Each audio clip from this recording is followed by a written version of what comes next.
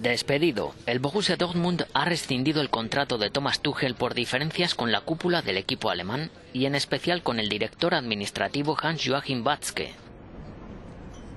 Al técnico germano le quedaba una temporada de compromiso con la entidad de Dortmund y tras haber sido cesado en su cargo percibirá una indemnización de cerca de 3 millones de euros, según especula la prensa en Alemania.